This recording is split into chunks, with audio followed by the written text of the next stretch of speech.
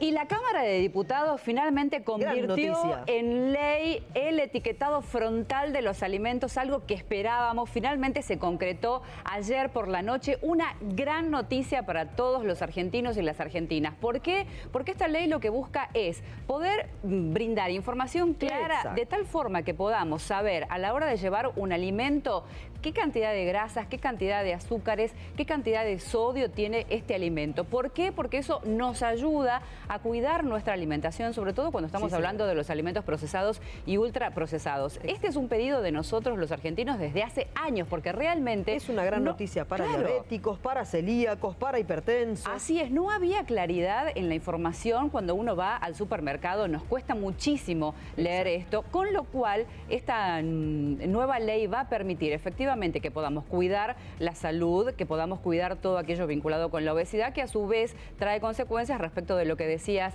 vos, Vero, es decir, hablamos de enfermedades vinculadas con eh, la hipertensión, con distintos tipos de cáncer, eh, enfermedades eh, respiratorias y pulmonares también, además de, de la obesidad. Así es que bien por esta ley.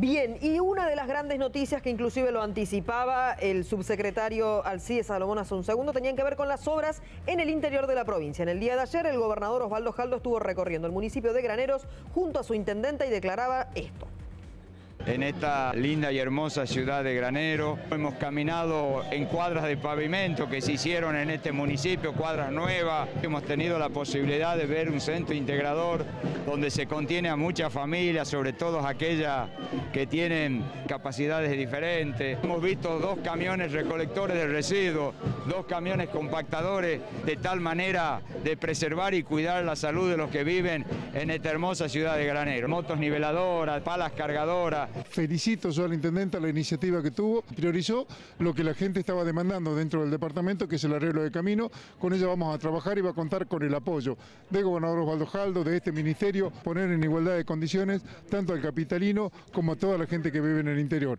Este es un país federal, así lo que hizo Alberto Fernández, así lo manifiesta. Juan Mansur cada vez que tenemos oportunidad me pide que veamos por todo el interior y Osvaldo Jaldo está continuando con esa política. Nuestro gobernador Osvaldo Jaldo eh, visita un centro integrador, eh, recorriendo las calles que han sido asfaltadas acá en Granero, las maquinarias y los camiones comprados por el municipio para que puedan ir a los lugares que son de las zonas rurales, cajero para que la gente pueda tener acceso, ya que teníamos un solo cajero.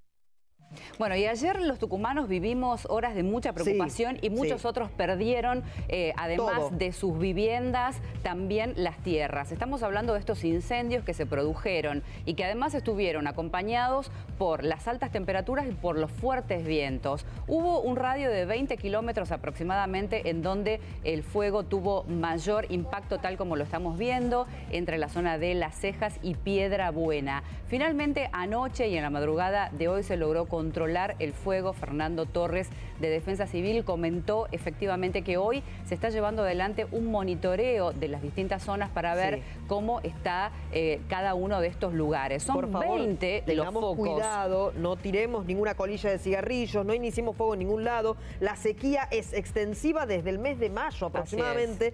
Es. es grave la situación, así que nosotros podemos ser responsables de provocar un incendio sin ninguna intención, pero con cosas que se pueden prevenir. Así es, decíamos que son 20 los focos de incendio que se generaron el día de ayer y esta mañana todavía había un poco de preocupación respecto de lo que podía pasar en Tafí del Valle, pero en principio hasta el momento todo está controlado y esa es la buena noticia. Después se verán los resultados respecto de qué es lo que se ha perdido materialmente.